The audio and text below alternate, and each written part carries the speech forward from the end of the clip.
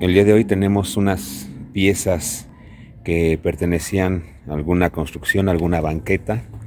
Vamos a seleccionar algunas para intentar hacer una práctica de Tameshiwari. Tameshiwari quiere decir intento de rompimiento. Como podemos ver, aquí por ejemplo esta eh, pieza tiene parte de ángulos de eh, fierro. Vamos a seleccionar algunas para poder realizar esta práctica. Las piezas que seleccioné tienen una forma irregular.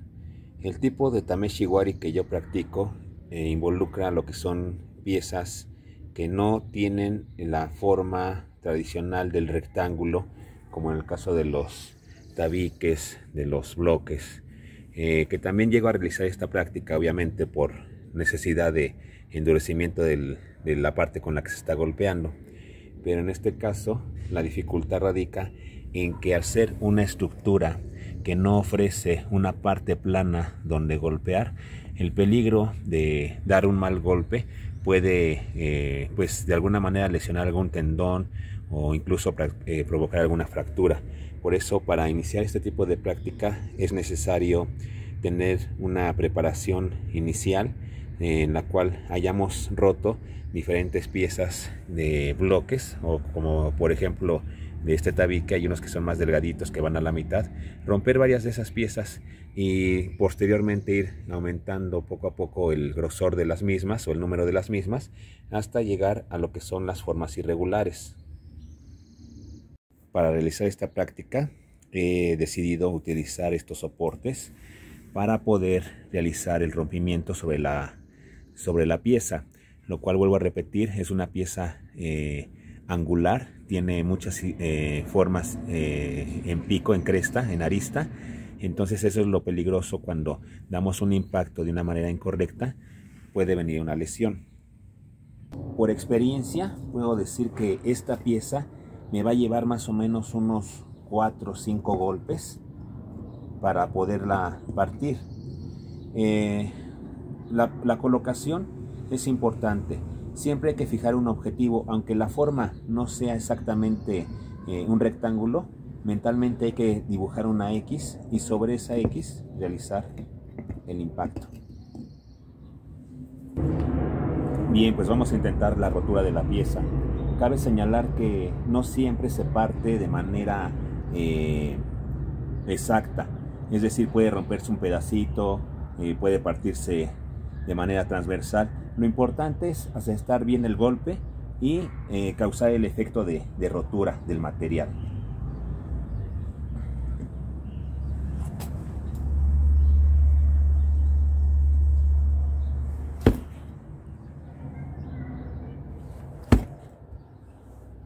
Dijimos más o menos unos cuatro golpes, cinco, llevamos dos.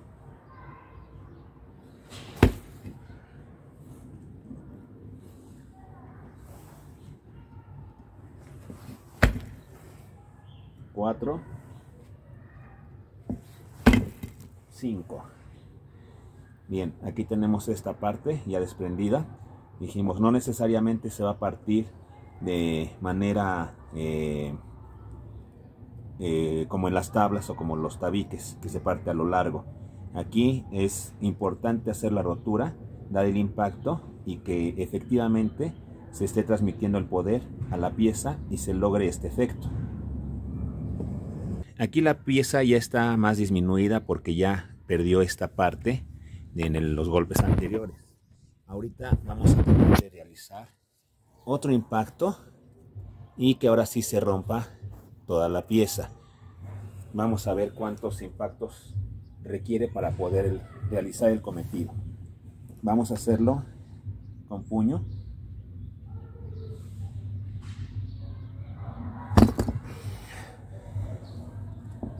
Aquí vemos la rotura.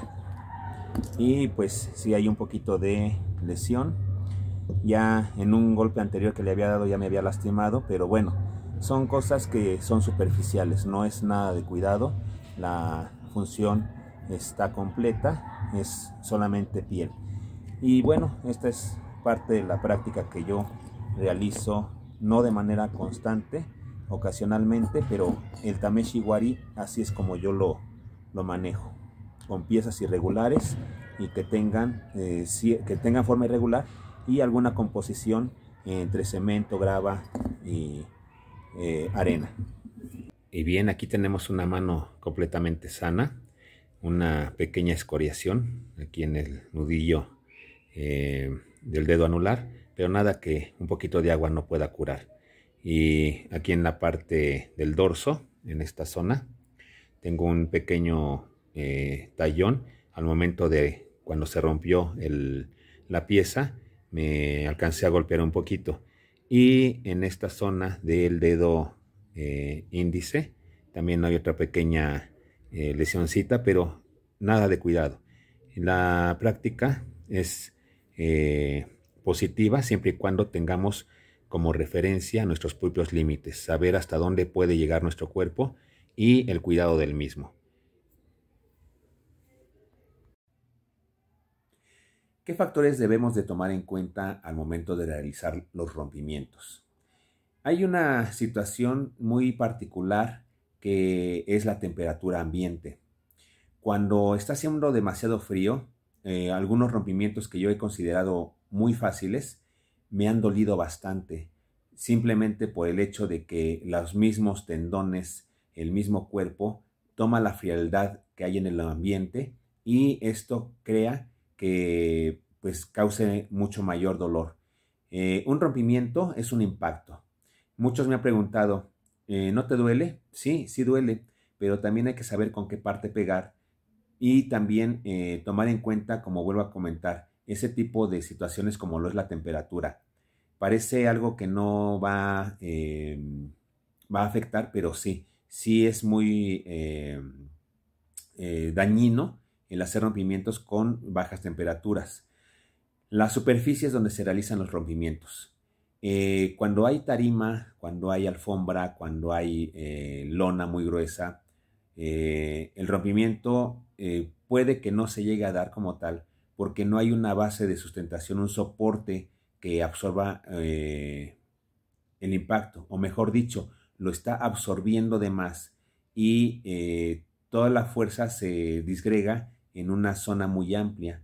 Cuando estamos en una base sólida y asestamos el golpe, cuando el, por ejemplo, el nudillo o la parte que está haciendo el, impacto se clava, eh, al momento de, generar la velocidad y la potencia en sí misma, pues va a llevar una, como resultado la ruptura del material.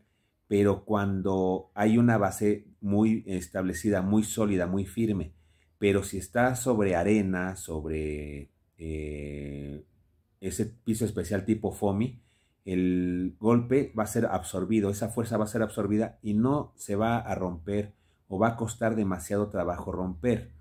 Em, en alguna ocasión me ha tocado que intentando realizar este tipo de práctica en una superficie de este tipo, eh, la parte con la que estoy asestando el golpe ha quedado muy, muy dolorida, muy lastimada, porque no he tenido esa precaución. Y esto pues son eh, conocimientos, experiencias con las cuales he ido experimentando y pues va dando por resultado el tener un conocimiento de lo que es los materiales y la forma más, digamos, fácil de realizar un rompimiento.